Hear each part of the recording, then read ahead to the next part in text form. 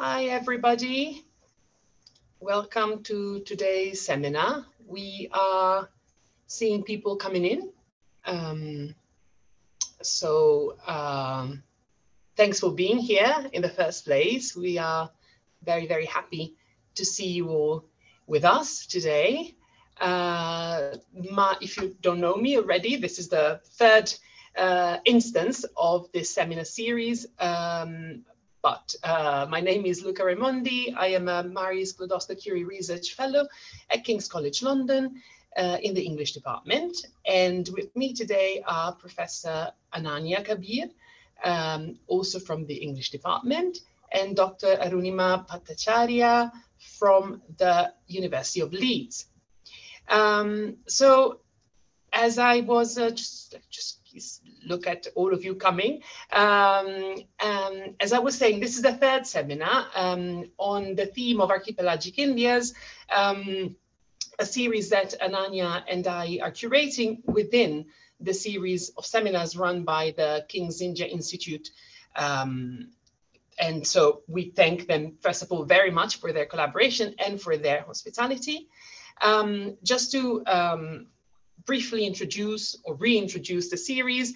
Uh, so the purpose of this mini-series uh, for, for Ananya and I was in the first place to explore the, the history, the culture, uh, and the stories, listen to the stories of those archipelagic spaces which um, geographically speaking are uh, surely peripheral to the uh, Indian mainland, um, the subcontinent, uh, stricto sensu, um, but but that um, have also been made peripheral uh, from a cultural and from a political point of view. So for us to mobilize, to use uh, the, the, the, the word the notion of archipelago and of archipelagic in the title is not because we are, of course, referring to the geo geology of the, of the places that we're interested in, um, but we also want to foreground um, the idea of relationality that is embedded in, in, archi in archipelagic theory specifically. And so um, kind of uh, lead us all to think beyond those lineal narratives of historical, national, and cultural belonging and development. Um, in the first two seminars of this series, we we we already exp started exploring uh, two of these archipelagic spaces, the Andaman Islands, um, with Dr. Shazia Rahman from the University of Dayton, um, who um, presented a reading on uh, a novel by a Pakistani writer, Uzma Aslam Khan. And uh, in December, Dr. Bindu Menon from Azim Premji University introduced us to the media uh, scape, the media imaginaries of the Lakshadweep. Now, for the second part of the series uh, in March, uh, we return to these places, but uh, with two other guests uh, who will uh, give us a whole different reading and uh, take bring to us different stories of these of these islands and these archipelagos. So Today, uh, we have Arunima uh, Bhattacharya, and she will take us back to the Andaman Islands where we uh, started uh, with a talk uh, titled Anthropology, Silence and Water, Andaman Islands in Recent Indian Novels. Um, I will now briefly introduce Arunima. Um, Arunima um, uh, has a PhD in English literature from the University of Leeds, and she is now a postdoctoral research assistant at the same university in the School of History, uh, working on the AHRC funded project, The Other from Within, Indian Anthropologists and the Birth of a Nation, which sounds super fascinating. Uh, her research interests include colonial and post-colonial urban heritage, mobility and travel literature, and Indian Ocean networks of people and trade in the long 19th century. So the format that we will follow today is pretty much the same as uh, we did in the past. Arunima will speak for around half an hour. She will also be presenting using uh, a PowerPoint presentation with beautiful images. Uh, and then her talk will be followed by a short response from um, Ananya, from Professor Ananya Kabir, and we will then open up for Q&A.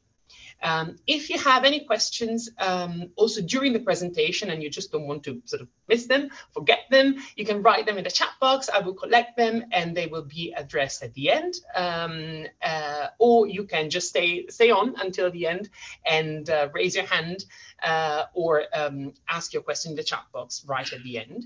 Um, if you have to leave earlier, um, just, just know that the seminar is being recorded and it will be uploaded on YouTube along with all of the other past seminars and the next one at the end of March uh, on the um, King's, oh my gosh, I forgot, the Global Affairs YouTube uh, channel of King's, King's College London.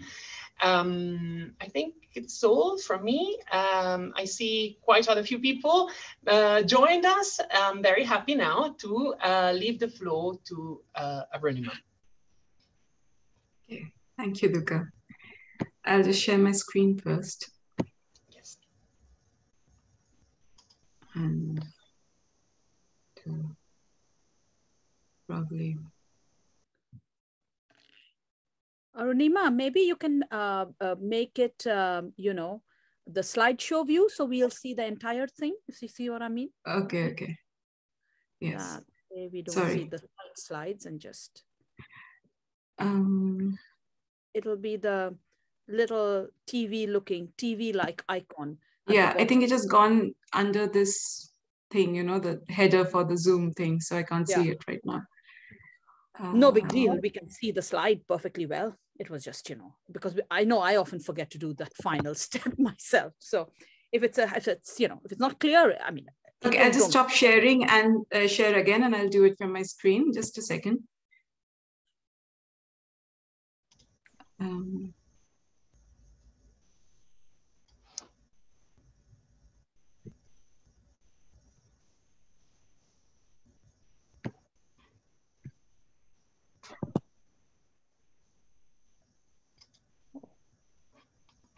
Sritama is giving Here us some very complex, uh, to me at least, they Yeah. sound complex. Okay, it doesn't matter. We'll do, we'll, we'll, we are very happy to see whatever there Yeah. is. It- yeah, fine. is. Oh, yeah, lovely. Great. Thank Yay. you. Thank you, Sritama.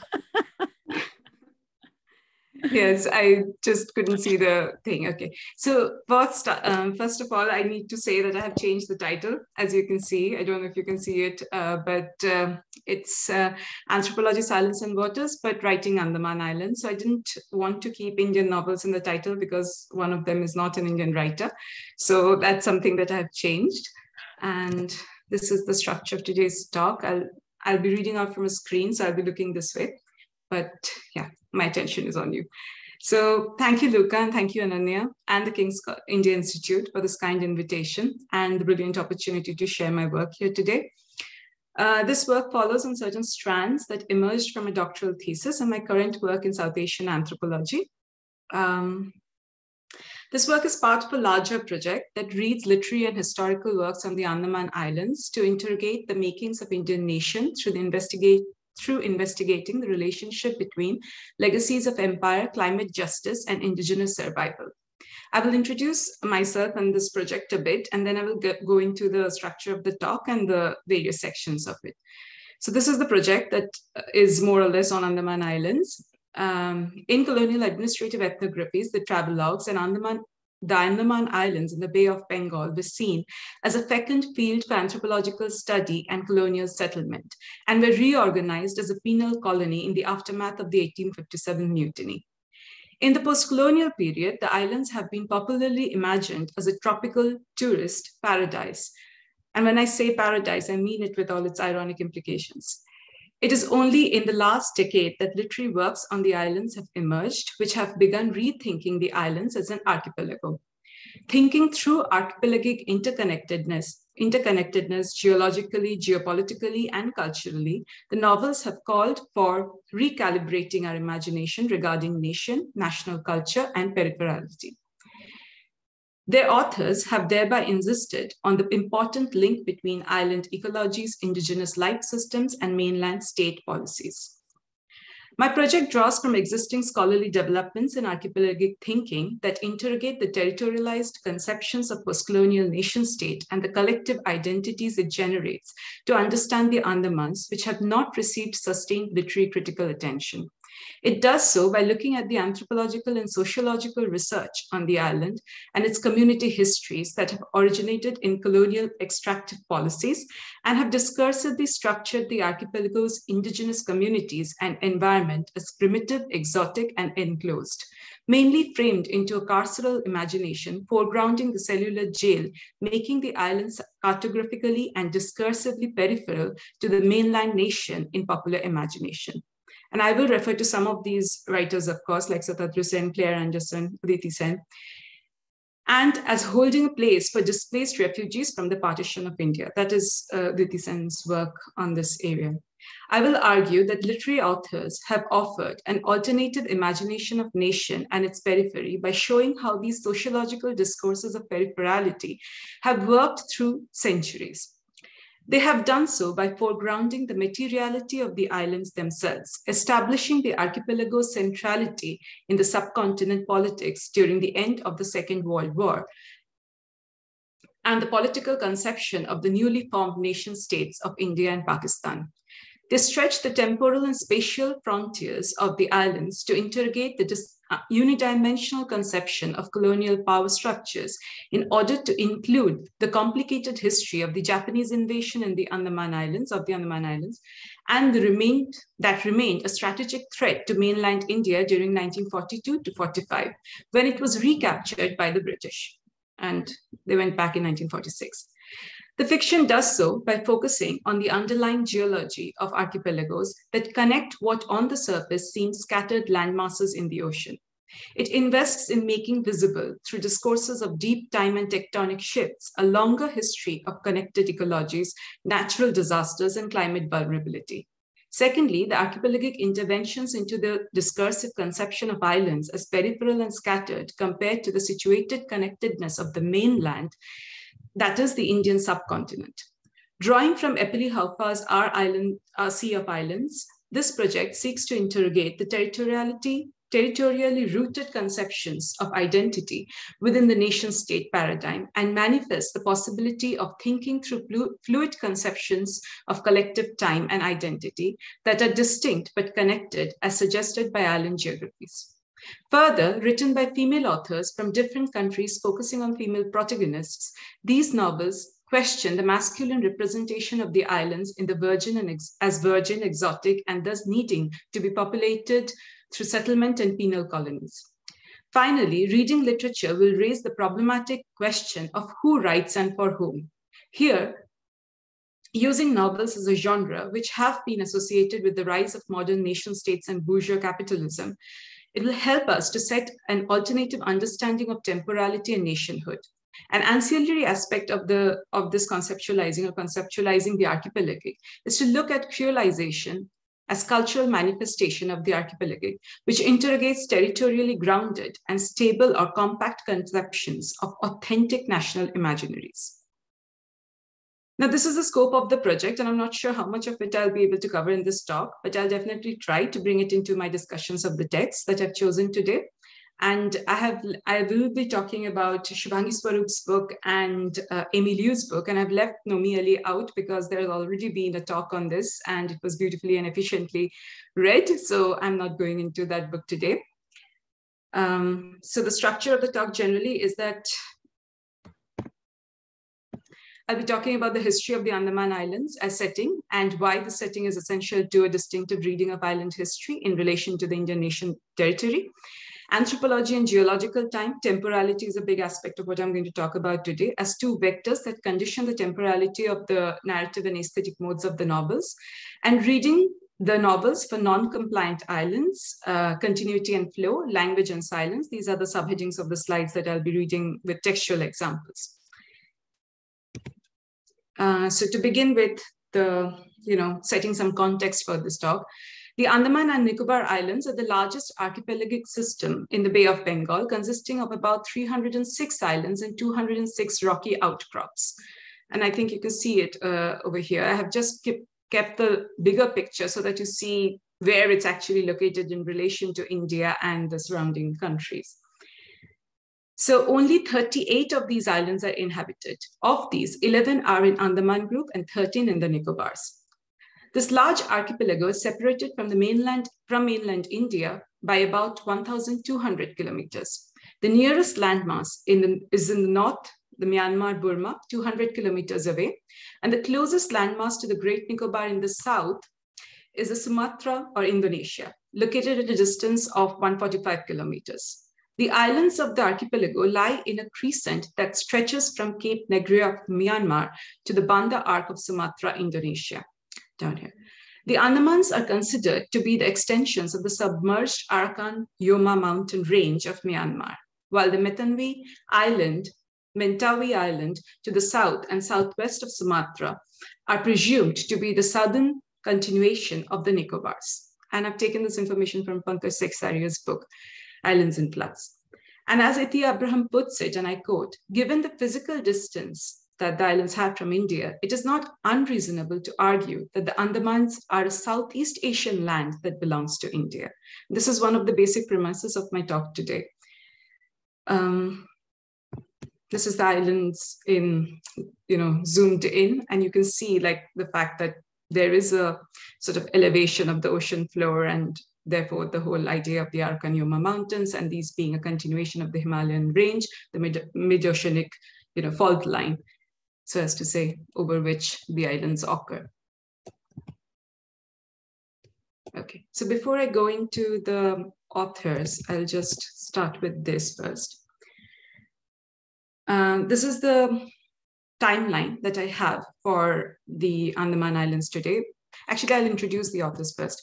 So this is uh, Shivangi Swarup's book. I have just included the blurbs from her book to give you all an idea of what the book is about, if in case you have not read it, and I highly recommend you read it because it's beautifully written.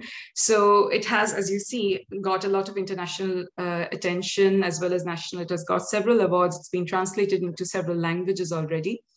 And I will be giving you a summary of the novel later on. So this is just an introduction to how the author looks, how the, you know, the beautiful cover of the book as well. It's published in 2019 by HarperCollins. Uh, this is the other book, Aimee Liu's book. It, uh, it's based on 1942, Japanese invasion. And this is the blurb, which kind of summarizes the novel. So I'll just read it out here, just in, you know, for reference later on. And it begins with the Japanese invasion uh, of the Andaman Islands. And after five years in the remote Andaman Islands, a spring Aspiring anthropologist Claire Durant and her husband Shep, a civil surgeon, must evacuate with their beloved but mysteriously mute four-year boy, boy Tai. They cannot, however, take Nyla, the local girl whose ability to communicate with Tai has made them dangerously dependent on her. The morning of the evacuation, both children disappear. With time running out, Shep forces Claire onto the ship while he stays behind to find their son. But just days after landing in Calcutta, Claire learns that the Japanese have taken down the Andamans and cut off all access to her missing family. In the desperate odyssey that follows, Claire, Shep, and Nyla will all take unimaginable risks while drawing deeply from their knowledges of the unique islands to save their beloved Glorious Boy. So that's the plot of Glorious Boy. Now, going into the history of the Andaman Islands before we link them to the novels themselves. It begins with the early attempts um, at colonization. So here, of course, the early first one was by John Ritchie, who arrived on the Andaman Islands, stopping in, in a channel that he named Diligence Strait. Ritchie did not have any particular interest in the Andamans. He was conducting a survey of the Ganges Delta and Bay of Bengal, charting anchorages for the energetic British maritime project expanding out of eastern India and Malaya. It was followed in 1789 by Archibald Blair, arrives on the island sent by Governor General Lord Cornwallis on a two-year survey. Now, Blair did not come merely to chart. He came to found the colony. And I'm reading here from um, Aparna Vaidik mostly.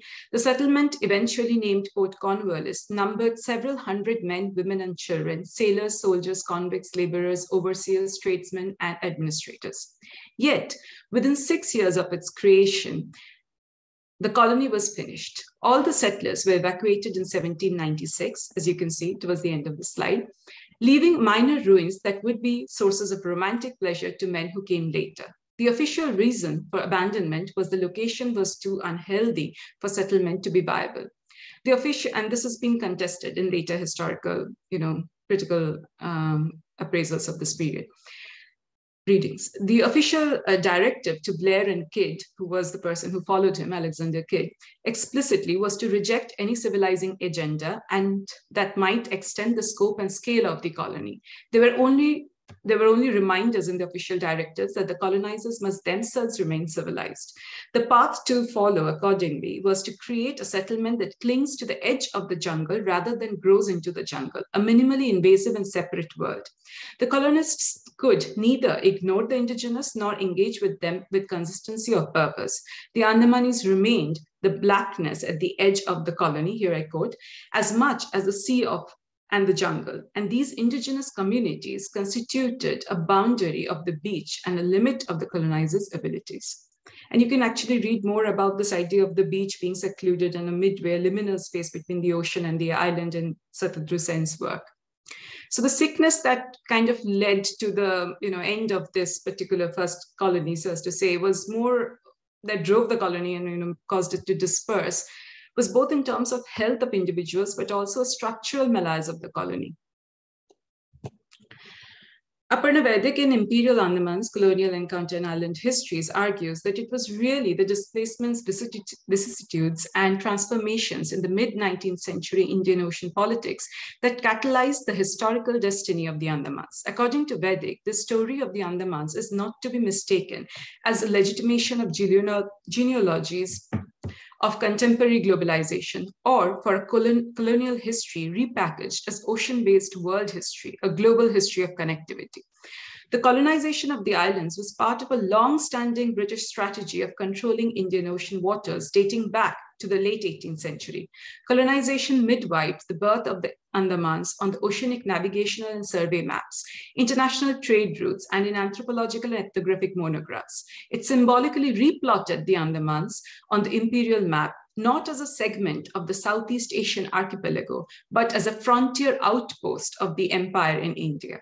The ancient and medieval maps, charts, and navigational texts that hitherto nearly always located the Andamans as a, past, as a part of the Southeast Asia in line with Java and Sumatra. But this changed and it became like the border of the eastern border of the British Indian state uh, or empire. In geographical terms as well, the Andamans were an extension of the Indonesian archipelago, which was overridden. The colonial map making, however, repositioned and appropriated the territory of the Andamans into the pantheon of imperial frontier conquests. Instead of looking eastwards, the Andamans now reoriented, were reoriented to face the Indian subcontinent. Where this reading helps uncover the way global connections contributed to the historical marginalization of the Andamans. Now here in this uh, particular slide, you'll see that in 1858, it starts with what's the, you know, the survey team that comes into Andaman and then it follows with the setting up of the cellular jail. And in 1909, the imprisonment of the Indian revolutionaries and political prisoners of the cellular jail led to the nationalist edification of the island. So it kind of begins with the 1858 uh, prisoners of the First War of Independence taken to the islands, the prison being built, and then it was ultimately made to house the, you know, the people, the Indian revolutionaries. Uh, since 1909. The islands as a penal colony connected to separate phases of the Indian national movement, the 1909 law tracing back to prisoners brought in earlier in 1857. And then the imperial, you know, sort of Japanese and then the British, the World War phase begins in 1941 with Japanese occupation of the Andamans and the British return to it in 1946. Mm, there's a lot of like it ends with this uh, 1947 the climax of nationalist expro uh, expropriation of the andamans came with lord mountbatten viceroy of india handing over the andamans to jawaharlal nehru the prime minister of independent india in 1947 in Nehru's perception, these islands were sacred symbols of Indian nationalist struggle and therefore were to naturally go with the Union of India. So we have sort of like two opposing portrayals of the islands. One is the Kalapani in the British colonial imagination, like for example, Arthur Conan Doyle's The Sign of Four, written in 1890, replete with imageries and fantasies, which were part of colonial folklore regarding the Andaman Islands disease, morbidity on the islands, horrible lives led by the convicts, and the presence of cannibalistic natives armed with poison darts and blowpipes. As opposed to this kind of imageries, there's this whole Indian collective national memory about it based on Mukti, Mukti Tirtho, or the site of pilgrimage for freedom, where the sons of Bharat Mata or Mother India sacrificed their lives in the service of the nation. And the book, there's a book on this, the Bijay Kumar Sinha's memoir, nine years he spent as a prisoner in the cellular jail in Andamans, the Indian Bastille. The nationalist appropriation of the Andamans was part of the larger process of the reconfiguration of colonial space as national space. The Andamans was not the promised land, nor or the remembered land of Indian nationalism. It was a redemptive space of Indian nationalism, the sacred pilgrimage sanctified by the dust of martyrs' feet. So, in a sense, the political prisoners and the later move that allowed for you know migration of convicts and non-convicts to the island post 1950s physically physical torture violence as history and heritage both british and japanese becomes a legacy of these islands and in India, post independence, the events that kind of commemorate this is the Andaman Divas or the Andaman Day, every celebrated every year on March 10th. And uh, by the local Andaman administration, this date commemorates the landing of the rebels of the revolt and the inauguration of the penal settlement on the island soil. Another instance of the conversion of the cellular jail by the government of India into a national memorial that's another instance of nationalizing the space is 1969 it was turned into a national memorial the cellular jail as a result of the efforts of the ex-andaman political prisoners fraternity circle so as a sort of a conclusion to this like we can begin with um, you know the beginning of the anthropological survey of india and its work in the andaman islands uh, it was first set up in 1948 uh, it was uh, the Andaman and Nicobar Islands regional station as a survey and survey office in Port Blair in 1951. And there's a lot of work regarding the way the anthropological survey has kind of framed its attitude towards um, the Andaman Islands, but a significant part of it actually comes across in Itty Abraham's uh, sort of writing on the island, and I'll read out a bit from there. The powerful anthropological survey of India, still clinging faithfully to the purity pollution code identified by Louis Dumont and the British social anthropology, as was was the this was the essence of the Indian society, confirmed that the islands were both a melting pot and a frontier. Um, and I quote here, where rigidities of the type that exist on the mainland in commensal and connubial relations are generally not observed where there is no untouchability and where intercommunity marriages are common. So this was interpreted as this kind of, uh, you know, sort of a paradise where caste system did not exist because it was beyond that, it was somewhere in the future where we had overcome these you know, hierarchical distinctions. In official eyes, the common culture produced by creolization of the Andamans had created a uniquely hybrid society that had been broke, that had broken with all the characteristic traits and practices associated with Hindu India, beginning with religion and extending to language, caste hierarchy, marriage, and food. However, the indigenous inhabitants of the Andamans, as their distinctive place and history in the island comes under question from more recent arrivals who were busily redefining the normative terms of what it means to be Indian and Andamanese. What is missing from this whole uh, discourse is the record and the accounts that locate the Andamans in relation to nearby Myanmar, Thailand, and Indonesia, as well as narratives that begin by acknowledging the islands as a global maritime junction, rather than reducing it to the remote possessions of the Indian mainland or the metropolitan centers. The tensions emergent from the lack of fit between the profoundly multi-ethnic and imperial history and the post-colonial expectations of social and cultural homogeneity in an Indian nation space can now be seen as an immanent problem of boundary making in this region.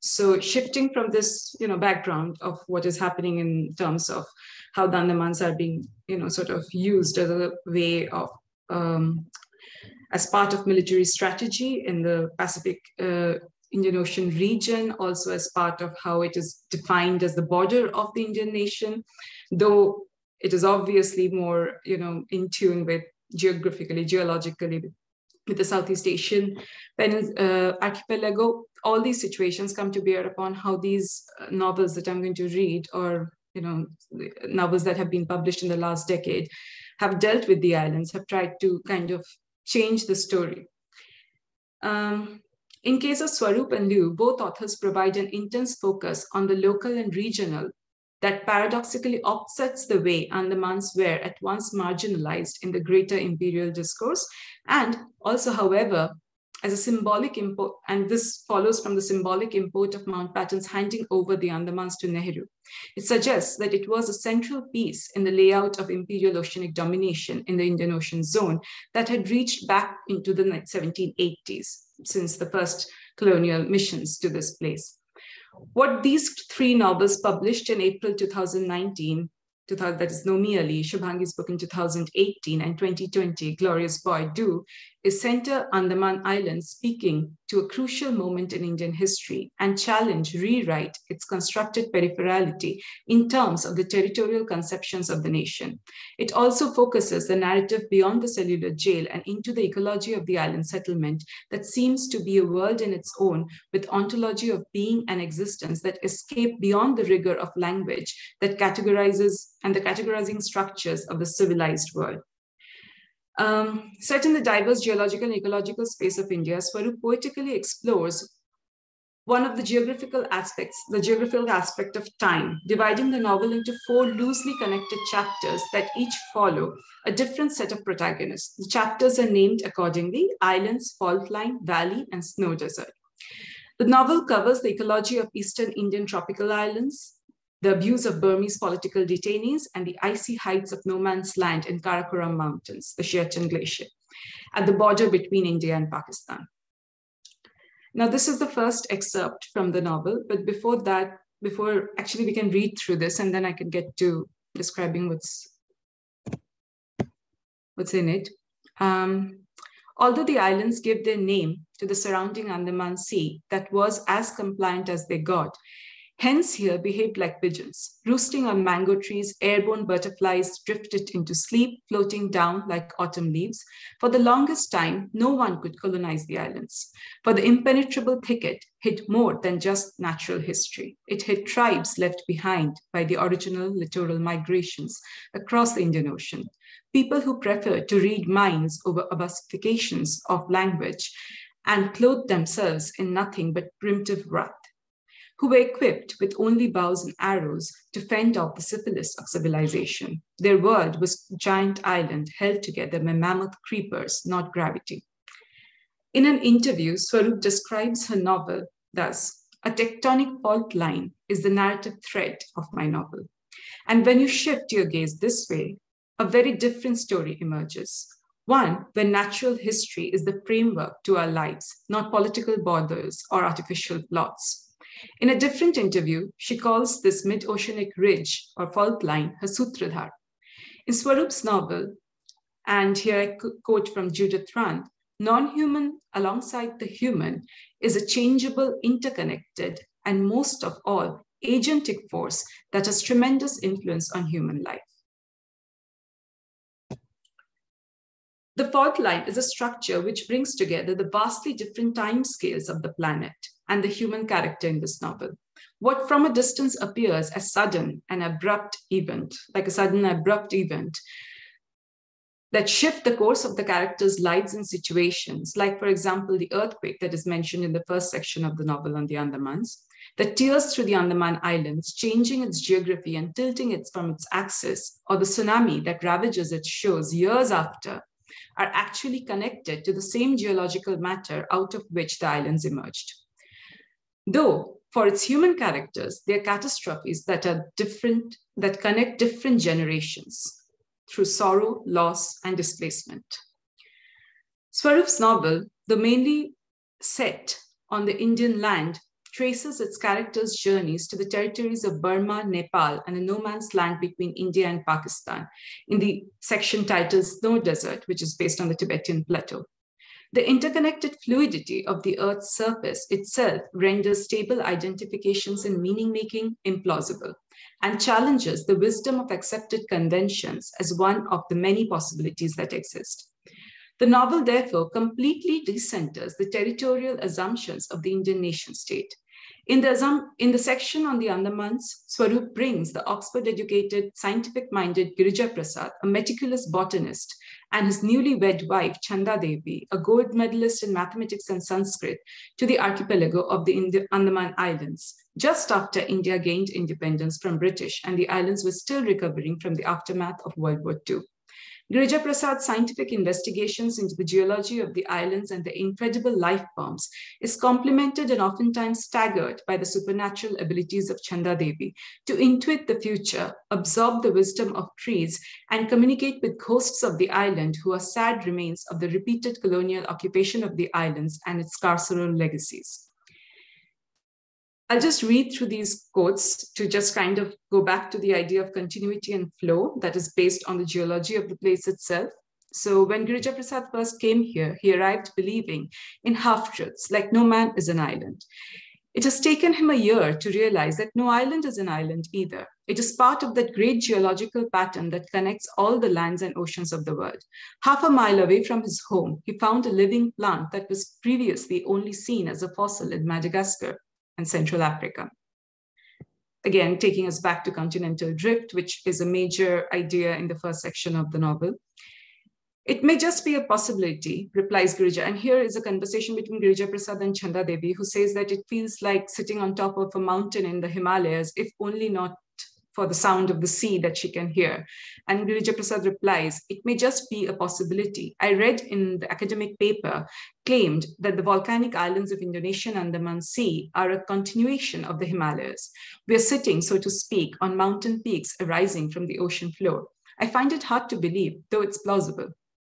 And I'll end with this one. Only fools would consider the shores of continents, sandbanks, and parched patches the ends to an unbroken surface of water. At best, they are breaks or pauses, or mindless chatter. Islands are mindless chatter in a meditative ocean. So in the following quotes uh, about silence and you know language, I will talk now. This is part of the way water is sort of brought into the conversation. I will talk about time and water in the novel. Water is the element of time in this novel. The opening pages of the novel evoke the wetness of the tropical island caught in the incessant rain, and we see how it has subsumed the inner life of the husband and wife as well, Girija and Chandadevi. Glaciers now the whole novel actually has a lot of water in it, different forms of it. And that is why it's sort of like glaciers freeze into oceans. Glaciers are frozen oceans. Oceans dry up to form deserts with fossils of sea creatures. Mist turns into rain that feeds rivers that then floods their shores in Burma.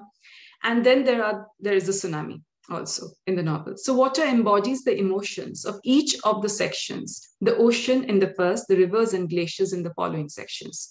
It brings together in its malleability the different time scales of geological deep time and human lifetimes. Um, this is the opening sentence of the novel. Silence on a tropical island is the relentless sound of water. The waves, like the sound of your own breathing, never leave you. For a fortnight now, the gurgle and thunder of clouds has drowned out the waves. Rains drum on the roof and skid over the edge, losing themselves in splashes, simper, whip, thump, and slip. The sun is dead, they tell you. The newly married Girija Prasad and Chanda Devi have resigned to their fate, strangers in a bedroom damp with desire and flooded with incipient dreams. The rains are conducive to fantasies and unscientific truth. So you see the first, these are the first two paragraphs. So you can imagine how, you know, the language itself is taken on the element of water. And this has been pointed out in you know, the recent research on this novel as well. Water is the connecting element of the novel that forces all human and non-human life to interact with the, and position themselves towards it. Seated in the sound of an elemental silence, the quietness of mist and the stillness of ice. And that is how the novel moves as well uh, time sort of congealing into ice, flowing like river, uh, coming down with the force of rain. That is how the novel differentiates between different moods, the emotional geographies of it, the emotional climate of the novel, so as to say. Now, just to connect this idea of silence and water to the other novel that we have in this discussion, and I'm rushing through over here, I'm not sure how much time is left, but uh, the second novel, which is Aimee Liu's book, uh, The Language of Silence.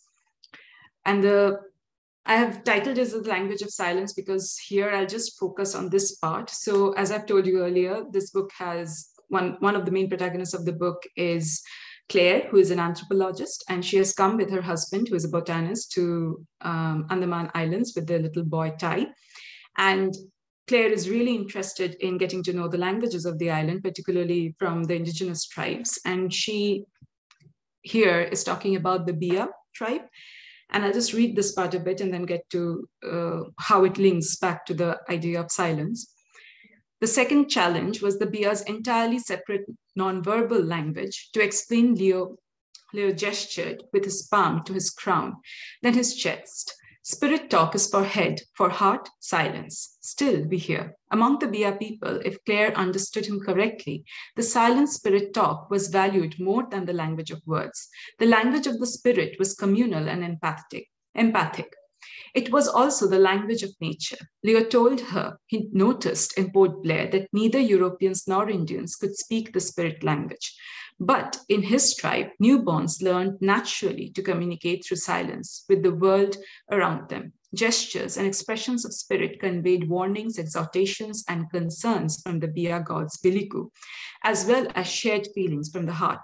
Speech, in contrast, was transactional, used for trade, planning, or resolution of problems. It was needed most when a member of the tribe needed to leave or when the communal bond was threatened by conflict, when dealing with outsiders, for example. What all the non natives had in common was dependence on verbal thought. Without words, neither reason nor understanding could occur. So, among the Leo people, so not, not so among Leo's people. And Leo is the character who's an indigenous Bia person who comes to live in the city and helps Claire with her mission to learn these languages. Sorry.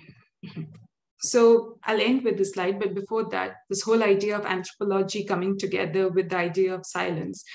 The language that Claire learns to, based on her anthropological interest, later develops into what she uses as code to talk to survivors on the island after it has been taken over by the Japanese and to locate her child over there. She develops the Bia language into a code that can be transmitted from the mainland to the islands. And that is the war aspect of it. That is how the language then gets appropriated into this whole discourse of colonialism. And the idea of silence is completely vanishes in the whole, you know, discourse of violence that the war brings into the conversation. And the central part of the language when it emerged in, uh, as it began in the novel was the fact that it was about communicating with nature and communicating and understanding the island being embedded in the island's ecology, so as to say. So this last part of the sort of conversation kind of gives you an idea of what the Bia people actually use the language for, rather than the code that actually develops from the Bia language that Claire develops to kind of defeat uh, Japanese uh, forces in a way. It helps the British forces to kind of pass information, um, blockade, etc. So it is kind of a you know a tool in the novel to kind of change the fortunes of Claire as well as the British in this region. So this part is where uh, Leo tells Claire that he can feel the spirit dance. As you did, Claire said, through several discussions about this. Leo had never been able to articulate how it sensed this dancing before the quake even began. So it's before the earthquake that Leo had told Claire and her family that there was going to be an earthquake and they should be coming out of the house, much like how we have read later in anthropological writings that the indigenous people knew that the tsunami was going to strike and they had moved to higher ground. So Leo smiled, lifting one palm high above Cooley's phantom head and lowering the other onto his knees. Cooley can hear Billy Billy could dance more than one hour before the ground will shake. Sixth sense, Claire wrote in her field book, magnetic fields, natural attunement, magic, some deep vibration. And this very, you know, interaction between the scientific a sort of a struggle to name this intuition scientifically is there in this novel as well as in the Girija Prasad and Chanda Devi dynamic as well, where Chanda Devi intuits the um, ecology of the island, whereas uh, Girija Prasad tries to ascertain it scientifically. And what the novel does is to bring these two aspects, the scientific and the you know the more intuitive way of living in the island together in the structure of the geology of the area itself the fault line that runs through uh, himalayas and this you know mid-oceanic ridge So both silence, the idea of deep time versus human time and how ecology and environmental um, you know concerns figure into it comes to forefront in this kind of understanding of how silence works in relation to language and that bringing together the concept of deep time with human time. So that's what i tried to do in today's talk. I don't know if it was understandable or you know. So thank you for that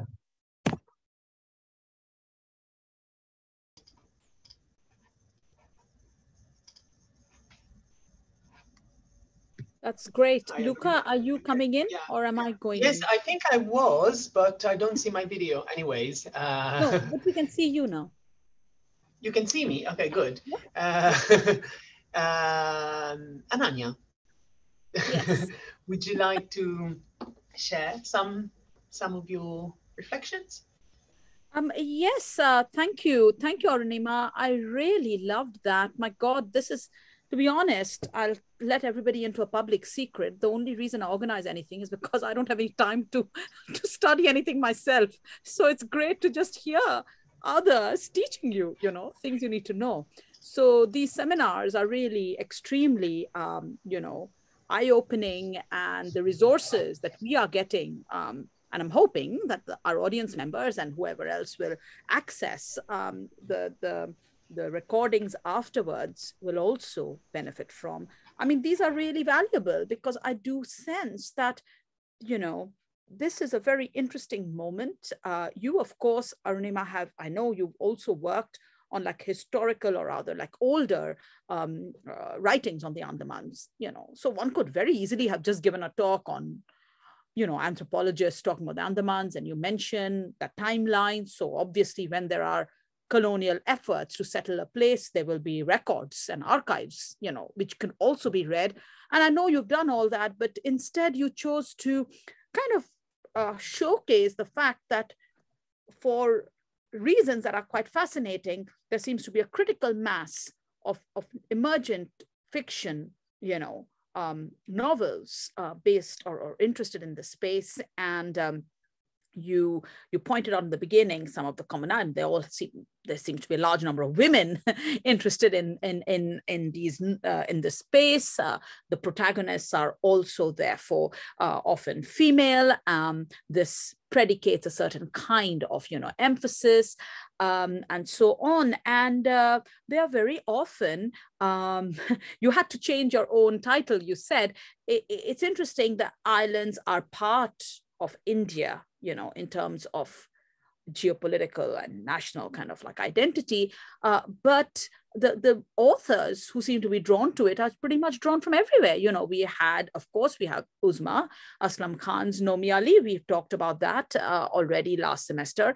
Um, and then, you know, we happen to have Shubhangi Swarup, but we also have Aimee Liu. So, you know, there's a lot of, there's a lot of kind of, um, projection, it seems to me, of, of, of certain kinds of identity conundrums seem to be like one way of dealing with them for our authors uh, seem to be uh, to, to locate narratives in this space and see where it takes them. So I really enjoyed uh, that reminder. And of course, we therefore also get to hear about two other novels which seem really compelling. I am actually, I'm going to again, uh, you know, risk my, my reputation and say I have not yet read The Latitudes of Longing, but of course it's on my list of, of must reads and now even more so. And the Aimee Liu novel was also very interesting in the way you brought out the commonalities between these two. And I was thinking of other commonalities with um, Uzma Aslam Khan's novel, which Shazia pointed out last time.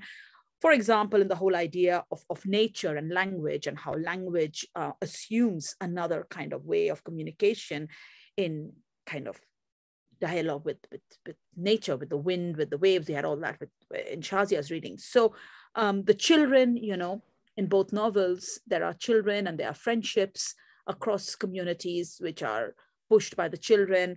Um, they seem to have a certain natural, again, this is of course a very common literary trope, but used well, um, children's innocence or ability to cross boundaries and borders mm. and just kind of their ability, mm. therefore, to understand another epistemology and, and explore islands in their on that on the terms on those terms. They don't have any fear or they don't have any anything holding them back. So children are used to good, um, you know, they're very well effectively mobilized by both novelists. Um, and uh, uh, so i was i was really I, I, was really grateful to you for giving us such a neat and such a helpful guide through uh, this emergent corpus um, and then i don't know how neat it was like i have i think it was quite neat. It was pretty neat. What can you do? I, we know like that 20, to... yeah but we give people 30 minutes and you know of course you know that's never actually enough in that sense. But I, I, assure you, it was enough for all of us whetting our appetite and getting to see some of these structures and some some interesting kind of lines of uh, um, of discussion. So I'll just kind of end with uh, my comments with a couple of uh, queries or openings, and I'd love to hear others also uh, from the audience. Uh, you know, we have a, a, tight little group of people I recognize who are all interested in these issues, so we'd want to hear from them. Firstly, I think it's quite interesting that so many of us are going back to Epeli Hau'ofa.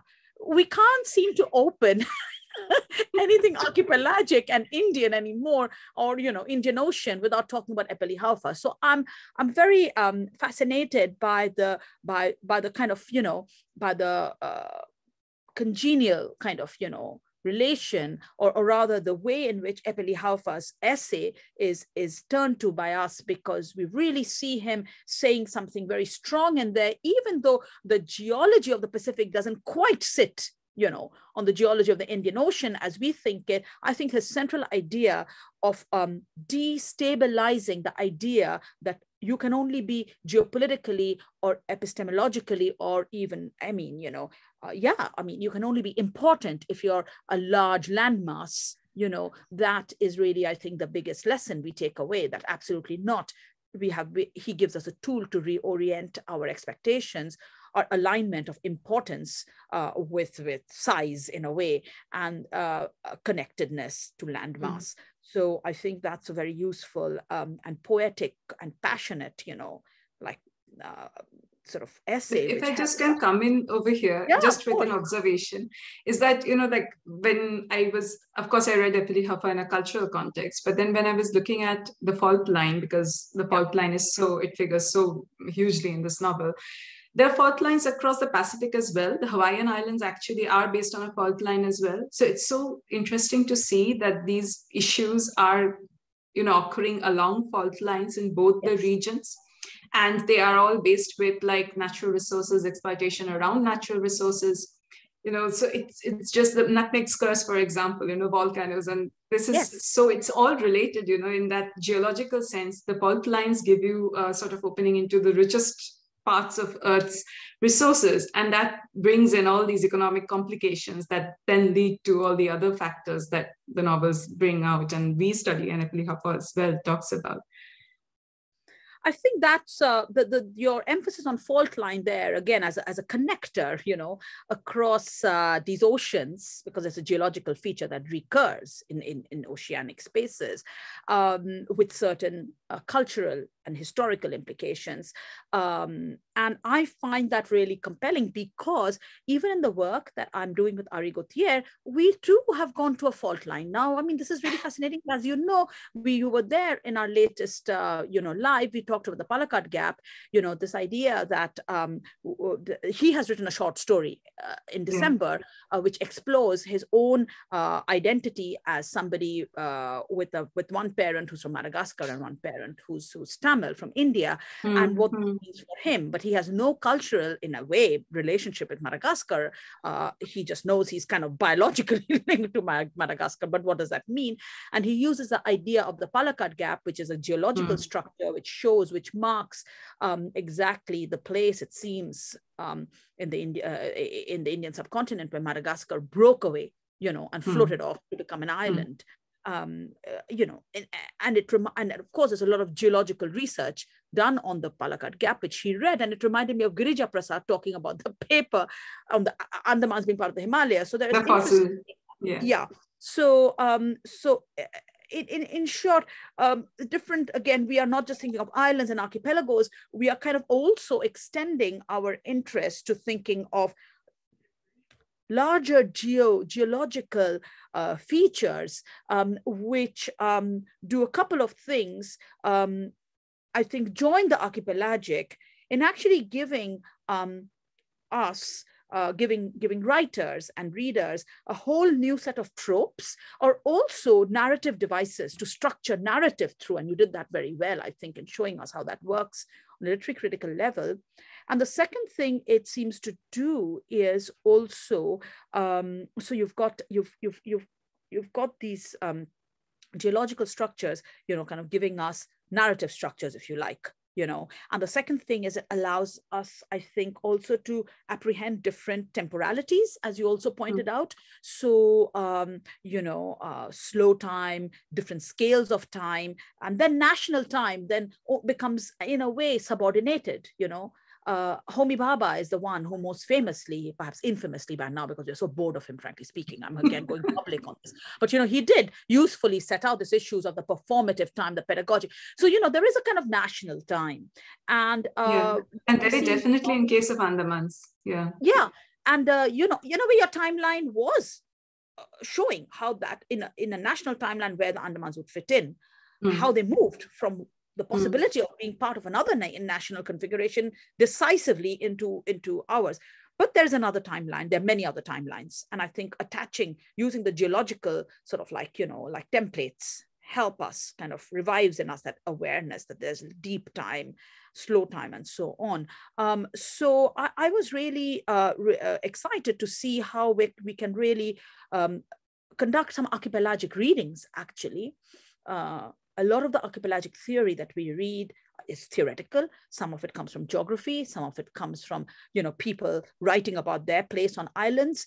And here we're actually seeing how it could be mobilized into mm. literary uh, a literary kind of critical um, apparatus which i think is is, is really uh, very helpful um, in in moving forward you know, in, we all want to know what do we do with archipelagic, you know. So this yes. your reading helps us understand that's that's a set of things we can do. Um, and what you do, therefore, I think through your taking us through these two novels is to show us that the place of the Andamans in the national imagination, which you started with, which is basically, I've, I did a little diagram, three P's, the peripheral, the penal, and partition, you know? So these three, um, these three aspects of the Andamans are really left behind when we yeah. embark on these journeys with the authors. Uh, Aimee Liu being American uh, with a Chinese parent um, and born, I think, or having spent a few early years in India. In Delhi. In yeah. Delhi and now she is uh, you know writing from america but she wants to connect uh, to some part of her life and she uses the andamans to connect. It's really interesting. Uh, um, just uh, you know like uh, now uh, you have to tell us maybe a little bit more about shubhangi Swarup. I don't know her bio. I'm assuming she's indian. Um, yes. but from I Mumbai. yeah. So it's very interesting that she does her own decentering in this four part structure of, of the mm. novel where mm. she's talking about uh, you know uh, the the um, islands, uh, the fault line, valley, and snow desert. So you can see that again. But it's not of, none of the areas are centrally Indian as we understand exactly. in Indian English. That's what I mean. She's so she's doing that decentering. You know, she's going from periphery to periphery, whether it's land periphery or water periphery or whatever. You know, so um, I just think that these are very interesting maneuvers. Thank you for bringing them to our notice.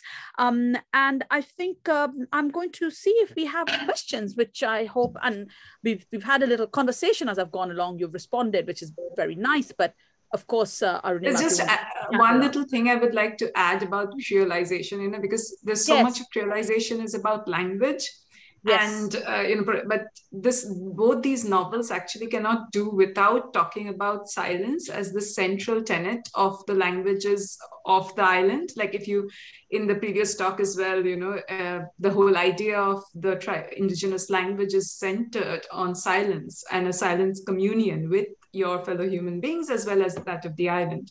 You know the language of the winds if i'm correct in you know remembering.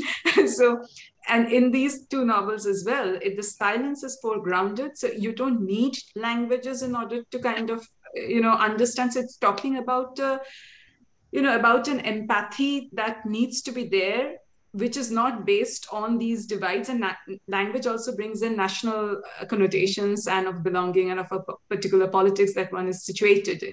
So if it's silence then it's more human on that level. It's more like um, in in conversation with your environment but not relegated to certain cultural backgrounds tied to them so i found that very interesting when i was thinking about the idea of creolization and how to approach it through the insistence of silence in these novels that's actually marvelous as well. Thank you for bringing. I mean, that was one issue that, of course, you know, I, I would have loved to talk about, and I kind of forgot in my, uh, not forgot, but you know, I kind of missed out picking up on.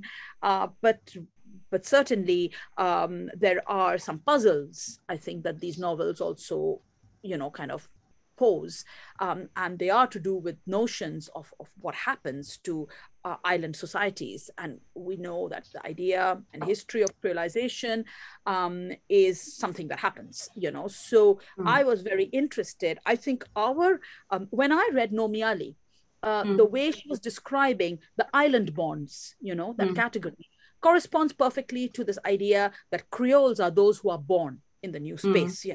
Once you have a new generation, that's the cultural Creole. And um, yes. they are speaking a Creole, you know, usually. So the two language and identity go together.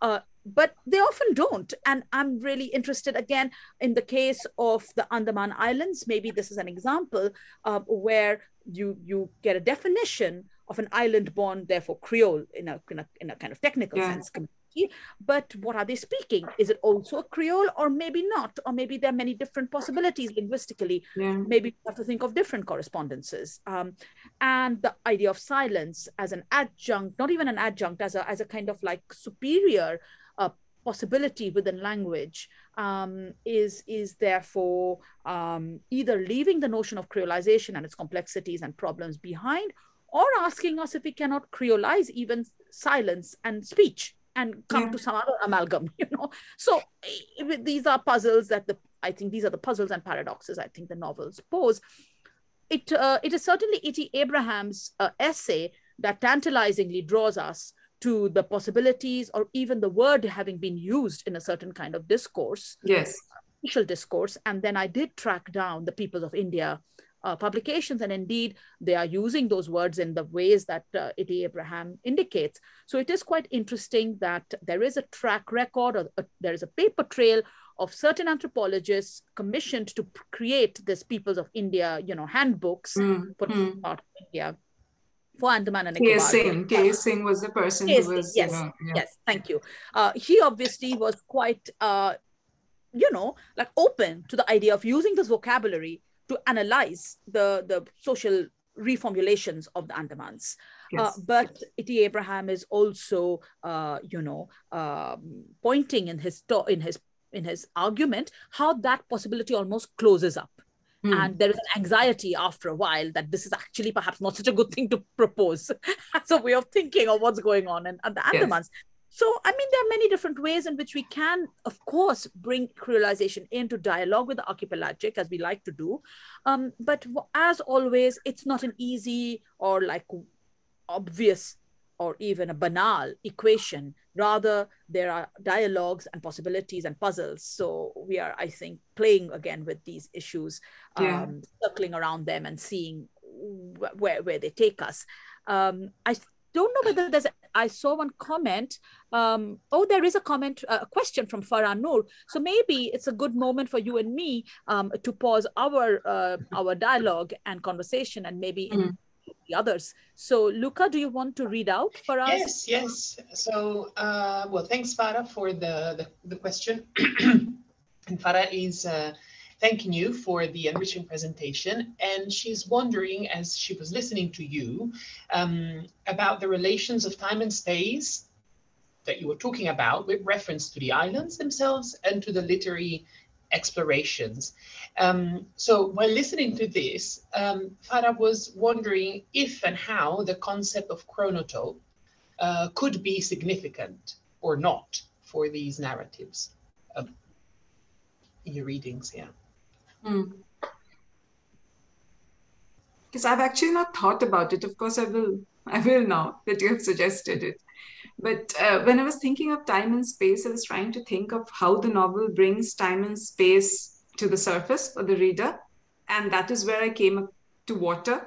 And on the few publications that I found on Swarup, uh, there have been sections on water because it's just you, something you cannot miss if you're reading the novel. So I was thinking of how more than chronotope, I was thinking of how it is made visible, how time and space is made visible in the novel, and it is usually through water, through the element of water in various forms. So I tried to track that as a different way of approaching how space and time together are brought together in the novel. And when we're talking of space and time, the novel is pushing back into the past, you know, of colonial past, and then coming to the very recent future, talking about the tsunami. So there's generations connected, though it's very distinct four parts, but there are uh, the characters are related to each other tangentially. So there's this intergenerational sort of trauma as well, you know, as I mentioned, with the earthquake and the tsunami, linking the father and the you know daughter and then the, then there's the grandson as well so it's it's like a lot of characters that are linked with you know the the ghost of Girija Prasad visiting this person suspended inside the glacier. So it's the ocean versus the glacier. It's a it's a mind blowing novel. You have to read it.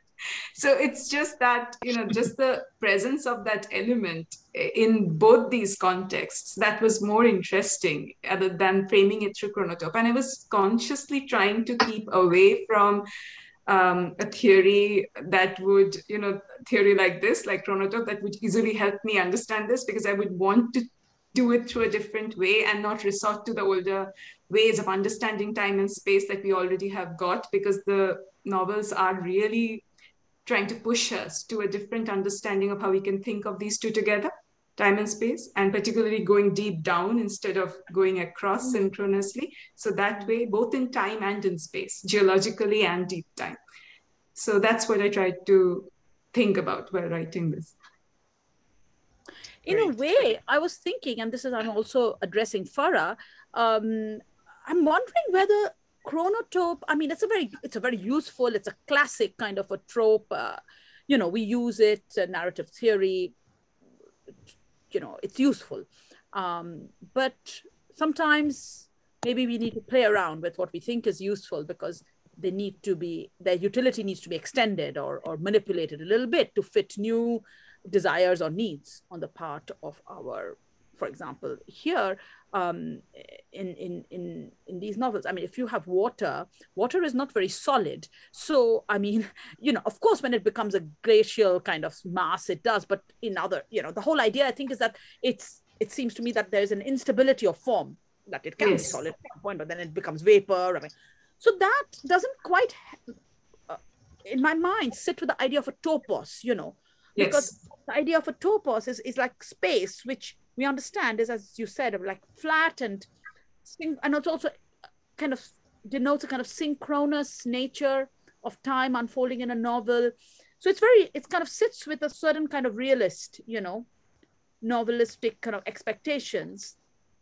Um, but the space of topos, the topos of topos, I think is certainly, I don't think we're expecting it to vaporize one minute and you know like a flow but it is the novel does try to make the point that it is a you know like uh, the fluidity of the earth's surface itself it's not stable so yeah. there's an earthquake and the whole island is ripped into two and then the tilts from its axis and certain areas get submerged. It's kind of like, you know, how Amitav Chaudhuri would write about the Sundarbans. Like, how do you define topos as the space at that time? It's already you're taking into account uh, character that you would associate with water when you are describing yeah. the space yeah so that is what here like there's this whole imagery about you know this little myth that she says that the, there's a fish at the center of the earth which moves its tail and every time it moves its tail there's this huge shift uh, earthquakes on the so fish again something related to water which lives in the water and then so it's it's it is trying to you know bring the solidity that we imagine about territory, sovereignty, yes. all these ideas are linked to the yeah. solidity of the landmass. And that if we make that fluid or imagine how it is linked to the, you know, glaciers are cutting through the land in order to form the land, but it's basically water, it's shaping the land. It, the valleys that we live in have been made by glaciers which have landed into the sea now and is water. So just mm. that idea, if you keep that in mind, while thinking of space or topos, as you said, is something that will change the way we would think of it as fixed and flow kind of thing. We really need a new word we need a new word. Everybody get hard to hard at work um, to somehow supplement uh, chronotope. I was I was reminded of two things, and I'm just going to mention them very quickly because I see there's another very interesting question. Yes, yes, um, I, I was thinking of the question of this. Um, I just was reminded of the um, phrase in Coetzee's uh, Waiting for Barbarians, where he laments and wants to live like a fish in water and uh, mm. something in air or something. This idea, but there are other ways of living in the elements, uh, which are imperial, um, you know, time. And that novel also says we can never get out the time of history. Empire has created the time of history. So I suddenly remember that entire discussion in that novel. Um, could be something to go back to. It's also about chronos and topos and instability in mm. its own ways. Mm. Um, and I was reminded of a completely randomly a beautiful um, Spanish um, um documentary, poetic, lyrical film, which I cannot remember the name of the author of, but I can easily find it, which is called Agua Espejo. Uh, oh. So the of Granada. So agua espejo, like mirror of uh, water, water mirror water. of Granada. I'm going to send that to everybody. And we, of course, once yes. I send it, I'll remember who made the film. But it is absolutely amazing. It's all about the shifting quality of water, and it's all about Granada. And again, memory and space and all the rest. Okay, I will stop there now because Sritama has a question. So, Luca, over yes. Thank you for the uh, reference. I remember. There yeah. is sorry, there is a question, and there is also the proposed new word, aquatrope, by Farah. so she's already, you know, trying to explore new directions for the chronotope. Lovely. Uh, aquatrope, or aquatope. Well, aquatrope, but anyways, um, it's chrono. But anyway, sorry, I don't want to get lost in that. Let's move to Sritama's um, question. Um, so um, she was very interested in the concept of creolization in relation to the local borns in the Andamans that um, you, Arunima and Ananya were talking about in the in the discussion right after the presentation. Um, and uh, so picking up on this, she she would like to know uh, what the potential limits of thinking with creolization in the Andamans uh, are or could be. Mm. That's a brilliant question. question. um, so I'm also in the process of thinking, you know, how to use creolization as I am deriving from all these people I'm reading through to these, uh, you know, this particular, these three novels that I'm working with. So language and silence, as I mentioned, is one of them because I was thinking of language as a central thing that comes up in discussions of creolization. And then what do I do with the insistence on silence in all these novels in relation to that? So what does that say about like there are sections, you know, of um, history, as in like people who have written on it, like all these people.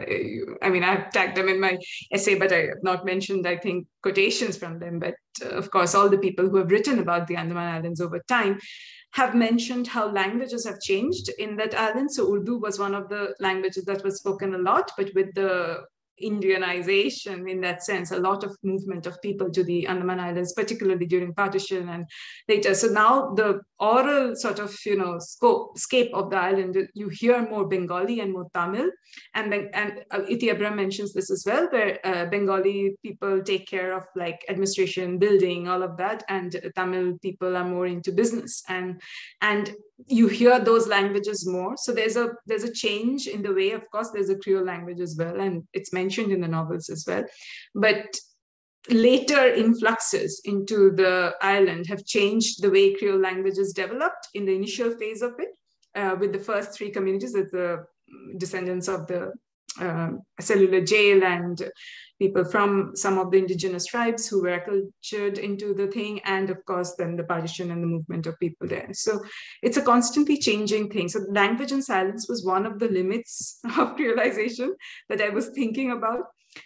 Of course, when I talk about like when we are thinking of creolizations, we are also thinking like if you know going by all the conversations I've heard from Ari and Ananya on their Thinnai, uh, to think about it in a more granular way you know that's that's what the approach is more like so think about it in more specific terms about what creolization and what what are the communities what are they doing in order to so you have that brings me to the concepts of like what is Andaman being represented as, packaged as in a way, like, you know, in terms of their heritage, in terms of the buildings that you see if you are a tourist there, the kind of things. So it, that kind of clashes with what creolization as politics and creolization as practice as you live it everyday life versus the version that one would want to see or the administration would want to see or whatever so those two things vary and there are a lot of you know complex politics happening between what is the lived reality, what is the projection of it. And the novels also, to an extent, deal with that, that what, uh, like, uh, um, Liu's novel ends with, you know, the son, Tai, going back to the Andaman Islands much later, like from 1940s, they went away and then he goes back when he's much older. And he goes and meets uh, Naila, who was his ayah, quote unquote, at that time. So there's this whole coming back and the whole memory of these people who had lived at that time that he had picked up the languages and everything, which he traveled back with to US and then came back again. And that's also part of his memory. So it's about looking at communities in that sense as well, communities who are not on the Andamans at this moment, but had been part of it over the years. So think about creolization as this thing, a transnational concept as well in a way. So those are the some of the things I can think of from the top of my head. Yeah.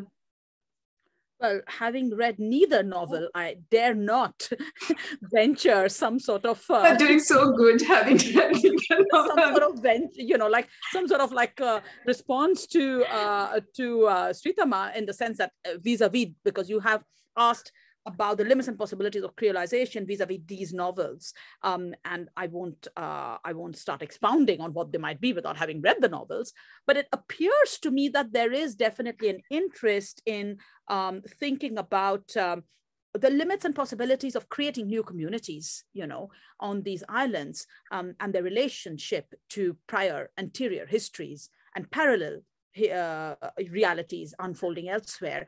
And creolization as a theoretical concept also can be used to gauge uh, or, or, or, articulate theoretically, analyze uh, those, those, those, you know, um, those imaginary, those, the workings of the imagination of the novelists as they try to imagine what could this new communi- community be? What could its limits and possibilities be? When were they foreclosed? When did they you know how can they thrive again? Or so on and so forth. So i think yeah. that theoretically and when talking about creolization i'm also very aware of my own positionality. You know the fact that none of these writers are from the island and also the fact that i'm not from the island i've never been there yet. And we really cannot expect like we there is no novel written by a tribe person or a Ongese person about Andaman. So what do you do about that? Like if you are to address creolization, what do you do about the fact that all the representations of it are in language in English that I'm dealing with right now? Of course, there are there in regional languages, but mostly by people who are not part of that island. So that's also something that is a limit, I would say.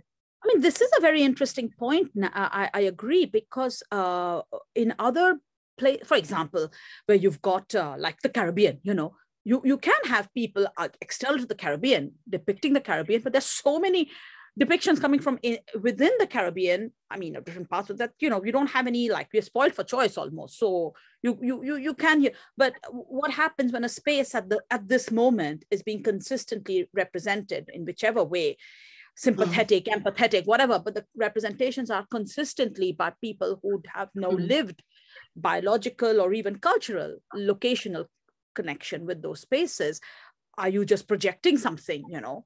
Uh, and and what is the what are the politics of that act of projection? Exactly. um, however here i think the work of manuela boatcă could be quite helpful and i'm putting her name down in the chat. She would love uh, to see that she's being cited by these uh, literary. Oh, yes, yes. Mm. Because Manuela is working on sociology and she is talking about creolization of theory. I mean, how the idea of creolization can even actually operate at a theoretical level to make us mm. think about, for example, relationality, different kinds of positions. So, for example, her work is about how Transylvania, how Europe, how different European locations can be reconfigured by, say, the fact that there are European outposts in the Caribbean so what does that make Europe? You know, so I think there is a there is a way to um, think to lever oneself above just the very kind of empirical, you know, empirical uh, data. Who is writing these novels? Where are what are they writing about? How are they located? Have they been to the Andamans or not? We know all that, and we are equipped. We know about representation, and we know about the politics of representation. Mm. Be careful.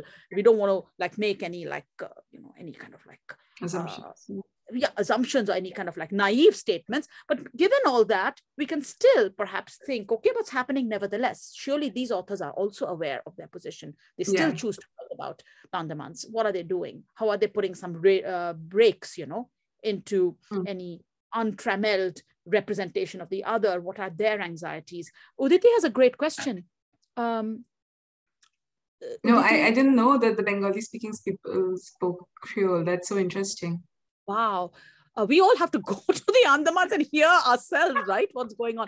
Thank you, Uditi. Um, this is amazing. Uh, it is there in the language. The Bengalis, refugees settled mm. in, speak a Creole kind of, and in the Tamil. So it's really waiting, isn't it, for some linguist to go. Uditi, you want to say something? Why not? Let's bring Uditi in. Yeah, I just, can you hear me? Yes, yes. we can. Yeah, so I just kind of, you know, wanted to uh, give you an example of what I mean that the Bengali yes. speak a Creole language.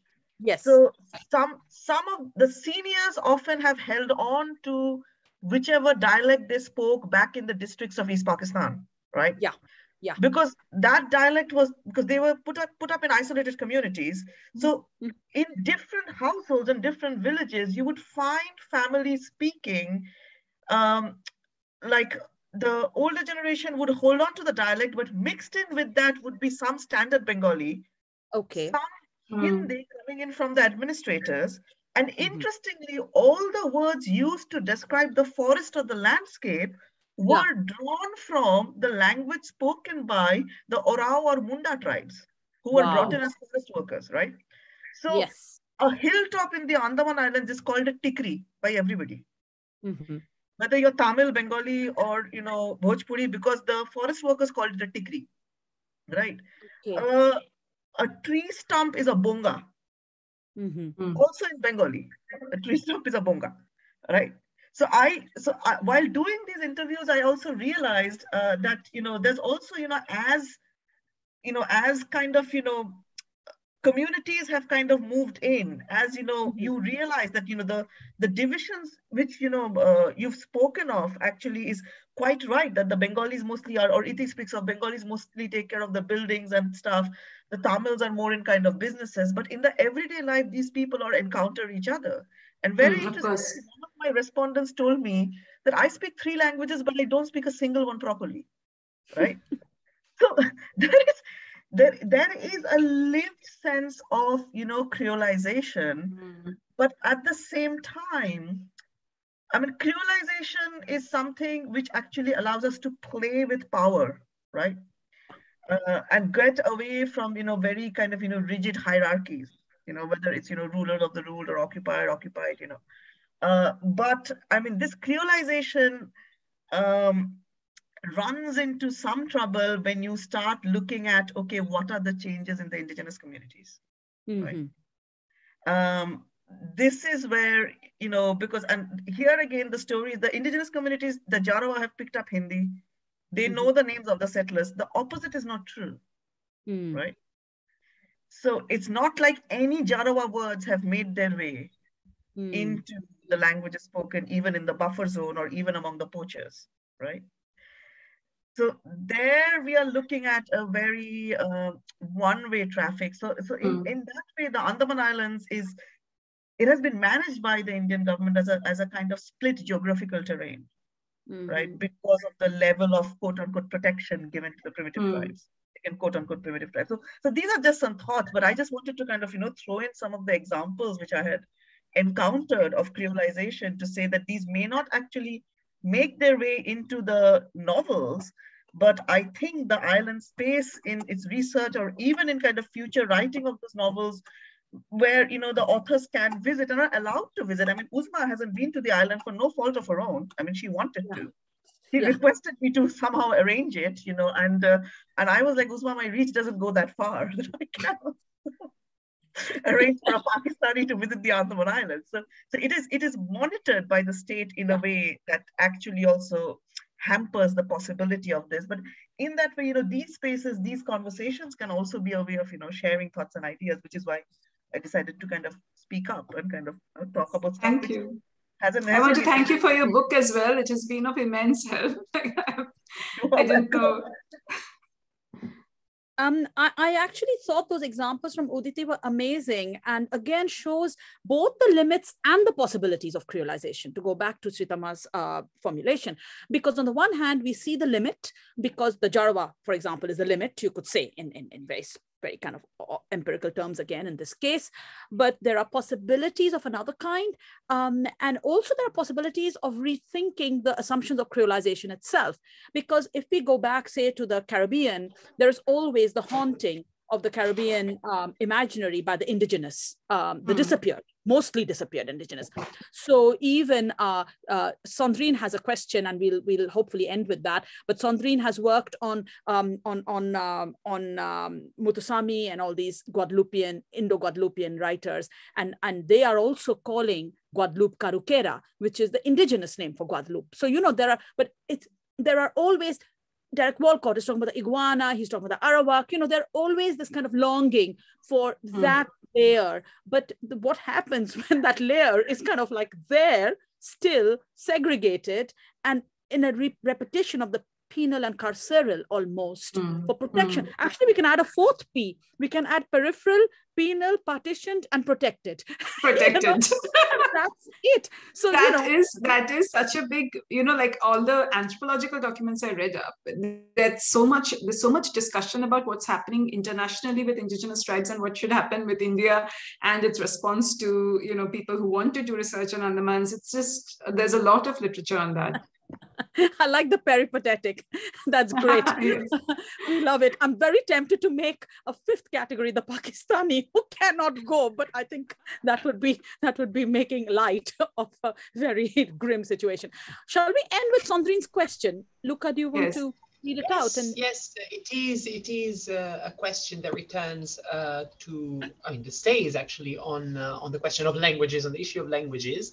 Um, first, there is a sort of a, you know, she, she's saying that um, something that, that makes her thinking is how Bengali, that is spoken by almost 30% of the population on the island, hasn't been acknowledged as an official language, while Hindi is, is uh, even though this one is only spoken by 30% of the population, according to the census. Um, and then, you know, the question is if, uh, Arunima, you are interested in the many languages spoken there and their interactions, uh, intermingling, reciprocal transformations, of course, including also English, which happens also to be the, the language that you are uh, using in terms of also the fictional works that you are analyzing. Okay. But first, uh, about the previous conversation, thank you, Sritama, for that question. I got to know so much because you asked that question.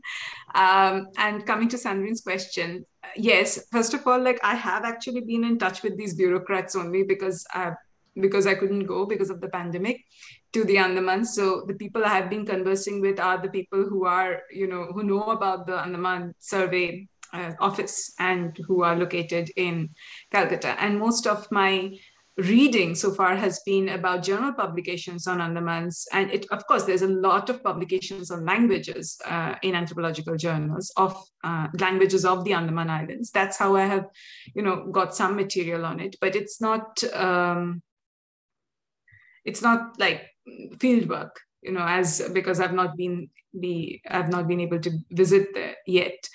So though the project has been on for some time now, but yes, that of course, definitely I would be interested because a lot of the oh, thank you.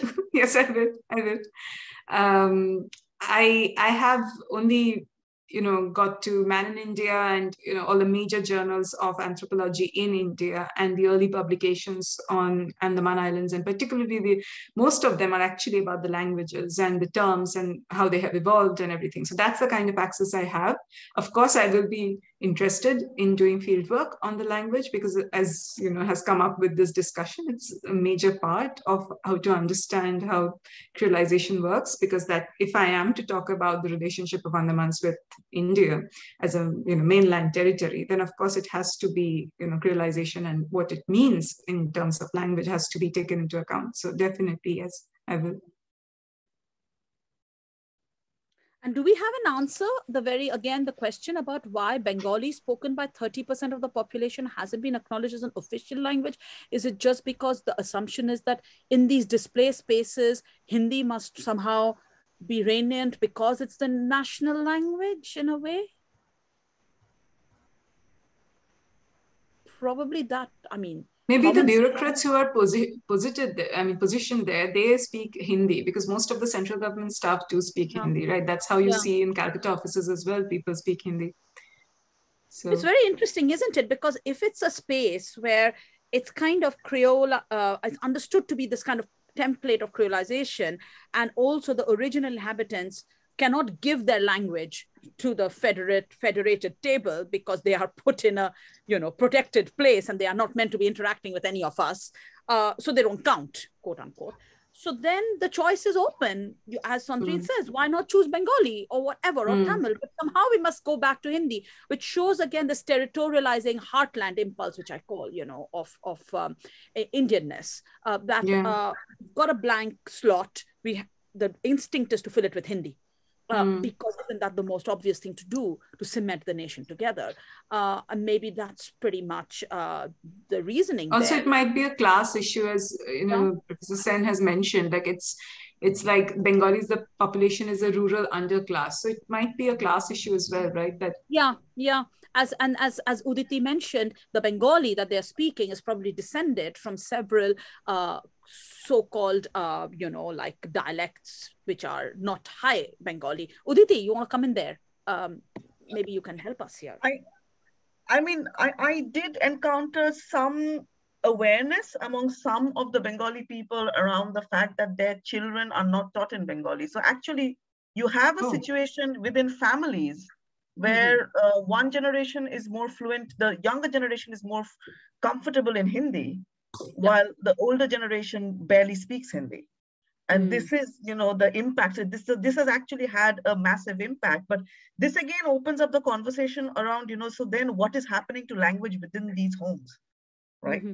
Mm-hmm. Uh, because of these situations but there is some awareness of you know how you know the not including bengali um, as an official language basically means there is no compulsion to provide you know um, primary education in bengali right and the mm. fascinating so thing is, I am I'm really curious to know what kind of Hindi accent is coming out of all this because you know what what are they sounding sorts. like? All sorts. There's Tamil mixed in, there's Hindi mixed in, there's Bengali mixed in. It really depends on which region you're going to and you know what they are coming up with. So um, so it is it is truly a language, you know, hodgepodge, and Hindi is the lingua franca. Mm, but mm. the other interesting thing is like even like most even most rural people in the Andaman Islands, even the most kind of not you know educated, but again literacy is very high in the Andaman Islands, even in the rural regions. Uh, people speak two to three languages as routine or a mm-hmm. smattering of a third language at least because they've picked it up because if their mm-hmm. trade is Tamil, they've picked it up, right? So um, so it's it's it's interesting, but Oh, I don't have an answer to Sandrine's question really, other than what you proposed, Ananya. But what might be more interesting is to think of the consequences of that decision yeah. and what yeah. this does to the you know language spoken in the island. Well, it appears that in a, a, a Hindi has become kind of a lingua franca, as you said, Uditi. The word was on my mind when you pronounced it. So I was certainly following your line of thought. And um, I've been doing some research, as Luca knows, on the history of thinking about lingua franca as lingua franca uh, in the 19th century. And in the hands of those early Creole linguistics pioneers, uh, lingua franca as a contact language was kind of on a spectrum with Creole languages as formed and inherited languages or, or languages spoken by a second and third generation. In a new place. And they didn't make, though today linguistics would make a distinction between lingua franca as a vehicular contact language um, and uh, Creoles as a inherited language. It becomes the mother tongue of groups who are born in spaces and so on actually in the initial phases um, where these languages were coming under academic scrutiny uh, and taxonomy, there was actually a very Creole impulse to not have these strict demarcations and see more a kind of linguistic spectrum on which all these varieties of contact attempts were placed. And um, in my own work on this set of Creole, uh, like pioneers of creolistics, you can call them, I'm actually proposing that they were on the right track and we should perhaps reintroduce these fuzzy boundaries and, and, and spec ideas of spectrum, the shades and grades of of possibilities uh, into our thinking about creolization rather than think about strict boundaries. And so we kind of mm-hmm. re-creolize Creole itself is the way I end that little piece I've been writing this uh, month. Uh, so I think uh, all these examples help us understand, uh, again, uh, how creolization has certainly its limits, but also opens up new possibilities uh, through, it, through the material we are glimpsing here, both the imaginative work done by the novelists and also the worlds they're seeking to capture. So, so it's it's been really wonderful. Um, so so happy to have uh, you know been taken away to the Andamans by you, Arunima. There's a, there's a different question by uh, like you know that is exactly oh, the yes, question that yes. I ask to uh, yes. uh, you know these authors. I have been in, I mean, I've done short interviews with two or three of them, and that is the first question I ask as to why suddenly Andaman Islands and why suddenly within this short period of time. I'm yet to arrive to a proper answer to give you, but that's that's definitely the first question I ask them, and ask you know others as well. So well, I think that can be the basis. That so-called simple question. yeah, you know, it's not. It's not, and actually, I think it is the heart of a whole new research project because it is a it is it is actually a simple and yet a most deep question, which I think uh, again. And that's the first have, question. Like it has to be the first question. And we are waiting for the answer, Rinema. You are looking to you.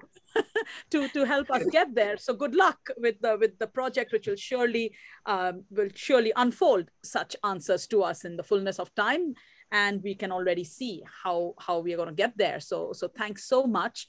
Um, Thank you. To you, Luca. I'll leave it to you to wrap things up. Oh, yes. Uh, thank you. Thank you so much to, to Arunima, of course, and to Ananya and everyone. Uh, it's been a very engaging uh, discussion. Um, and I think, you know, I also, of course, I always also had my notes, but I kind of keep, you know, I keep myself restrained for others to speak. But Arunima, we must meet uh, and uh, exhaust all of my questions. Um, I think uh, we can say that uh, the, the way in which our conversation was going to at the end, especially on the questions of languages, we were focusing among the many, many, many things that uh, Arunima uh, put us on the table today, uh, links us quite perfectly with the, at least with the title of the other, of the last I think, for this uh, semester seminar that we are organizing, um, taking us to a different geography, that of the Lakshadweep, um, and uh, but it is on the languages of transactions in Lakshadweep uh, by Mahmood Kooria, presented by Mahmood Kooria. So I would invite you all to join us on uh, our last seminar for this uh, semester and I think also academic year. Um, uh, on the 31st of March. So Thursday, 31st of March. Uh, between now and then, we can probably keep our sort of our thinking growing about languages, continent languages, languages of transactions, Creole, um, and then maybe we can have a, a chunky discussion at the end to celebrate all of the different directions that we've traversed uh, this uh, this year with these seminars. So thank you so much, Arunima. Thank you, everybody, and we hope to meet you, you, soon. Bye. Thank you, everyone. Thanks a lot, Luca, and thanks, Arunima. Bye, everybody. Thank you. Thank bye, you, everyone. Bye.